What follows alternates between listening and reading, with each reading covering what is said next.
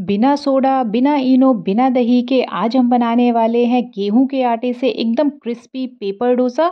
बहुत आसान है इसको बनाना और बहुत ही ज़्यादा टेस्टी एंड क्रिस्पी डोसा बन के तैयार होता है। तो चलिए बनाना शुरू करते हैं आज की हमारे इस आटा डोसा की रेसिपी को। तो इसको बनाने के लिए सबसे पहले हम यहाँ पे एक बोल में आधा कप आटा लेंगे। तो मैंने यहाँ पे गेहूँ का आधा कप आटा लिया है और इसी के साथ साथ अब हम इसमें ऐड कर देंगे यहाँ पे आधा कप सूजी तो यहाँ पे मैं आप कोई भी फाइन वाली या मोटी वाली कोई भी सूजी यहाँ पे ले सकते हैं तो आधा कप ही मैंने यहाँ पे सूजी भी इसके साथ ऐड कर दी है। और अब हम ऐड करेंगे यहाँ पे आधा छोटा चम्मच क्यूमिन सीड टेस्ट के अकॉर्डिंग यहाँ पे नमक ऐड कर देंगे। एक छोटा चम्मच मैंने यहाँ पे क्रश करके जिंजर ऐड करी है और एक छोटा चम्मच ही हम यहाँ पे गार्लिक ऐड करेंगे। क्रश करके इससे फ्लेवर ना बहुत ही अच्छा आता है। और एक ग्रीन चिली को भी मैंने यहाँ पे रफली चॉप करके ऐड कर दिया है। थोड़ी सी करी लीव्स भी हम ऐड करेंगे रफली चॉप करके और एक अनियन भी हमने यहाँ पे ऐड कर दिया एकदम रफली चॉप और मैंने यहाँ पे थोड़ी सी कैरेट भी ऐड करी है ग्रेट करके और लास्ट में अब हम इसमें ऐड करेंगे खूब सारा हरा धनिया और अब हम इसमें एक कप पानी ऐड करेंगे और इसका हम एक घोल तैयार करेंगे। तो इसका जो बैटर बनेगा ना वो थोड़ा सा रनी वाली कंसिस्टेंसी में बनेगा। ये थोड़ा सा पतला हमें बनाना है, बहुत ज़्यादा थिक इसको हमें नहीं बनाना है। तो यहाँ पे हम एक बार सारी चीज़ों को अच्छे से मिक्स कर लेते हैं।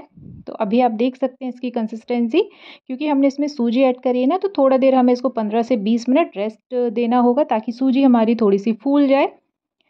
तो हम यहाँ पे इसको ढक के कम से कम पंद्रह से बीस मिनट के लिए रख देते हैं।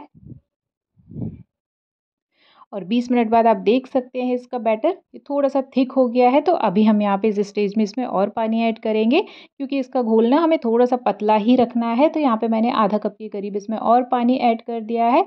और अभी आप इसकी कंसिस्टेंसी देख सकते हैं। तो हमें ये इसी तरह का बना के तैयार करना है, क्योंकि हम एकदम पतला पेपर वाला डोसा बनाने वाले हैं तो इसके लिए हमें इसका घोल ना एकदम पतला बना के तैयार करना है, तभी ये डोसा हमारा एकदम क्रिस्पी बनेगा। और अब हम यहाँ पे एक तवा गर्म करेंगे, और इसमें मैंने एक चम्मच के करीब करीब ऑयल डाल दिया है। तवा को हमें यहाँ पे अच्छे से गर्म कर लेना है, उसके बाद ही हमें इस डोसे को यहाँ पे फैलाना है तो ये हमें ध्यान रखना है कि जो भी तवा आप ले रहे हैं, डोसा तवा या लोहे वाला तवा, उसको पहले हम अच्छे से गर्म कर लेंगे। यहाँ पे हमारा जो डोसा वाला घोल है ना, उसको हम एक बार अच्छे से मिक्स कर लेंगे, क्योंकि सूजी जो है ना, वो नीचे बैठ जाती है। तो एक बार अच्छे से मिक्स करने के बाद हमारा ये जो डोसा वाला बैटर है ना, हम इसको तवे में साइड से फैलाते हुए अच्छे से यहाँ पे हम एकदम पतला इसको फैला देंगे और एक से दो मिनट हम इसको ऐसे ही छोड़ देंगे। तो इसको हमें यहाँ पे लो टू मीडियम फ्लेम पे ही कुक करना है, तभी एकदम क्रिस्पी बन के तैयार होगा। ऊपर से हम इसमें थोड़ा सा ऑयल और स्प्रेड कर देंगे, क्योंकि हम इस डोसे को सिर्फ़ एक ही साइड कुक करने वाले हैं। तो यहाँ पे हम तवे को ना इस तरह से घुमा घुमा के इसको चारों साइड से सेक लेंगे ताकि इससे इस डोसे में ना प्रॉपर हीट चारों साइड से मिले और ये चारों साइड से अच्छा सा कुक हो। और आप देख सकते हैं जब इसमें इस तरह का हल्का सा ब्राउन कलर आने लगे, आपको दिखने लगेगा क्योंकि ये डोसा बहुत ही हमने पतला बना के तैयार किया है।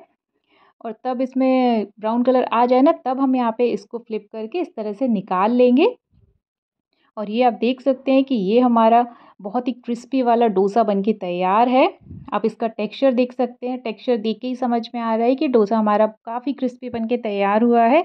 बहुत ही ज़्यादा टेस्टी बनता है लगता है ये खाने में और इसको कितना आसान भी है बनाना। तो यहाँ पे हम इसी तरह से अपने सारे डोसे बना लेंगे। तो हम जब भी डोसा बनाएँगे ना बैटर को हम अच्छे से एक बार मिक्स करेंगे और तवे को भी हम अच्छे से गर्म करके उसको ऑयल से हम अच्छे से ग्रीस करेंगे। उसके बाद हम यहाँ पे अपना डोसा फैलाएँगे तवे पे। तो हमें इसी तरह से अपने सारे डोसे बना के तैयार करने हैं। आप देख सकते हैं कि इसमें बीच में ना इस तरह की आपको जाली दिख रही होगी तो कोई टेंशन नहीं, ये इसी तरह से हमें बना के तैयार करना है। और एक से दो मिनट जब हो जाए ना, ऊपर से हम इसमें हल्का सा ऑयल स्प्रेड कर देंगे, जिससे कि ये डोसा ना एकदम क्रिस्पी बन के तैयार होगा। तो मैंने यहाँ पे अपना दूसरा डोसा भी इसी तरह से बना के तैयार कर लिया है। आप इसका टेक्सचर देख सकते हैं।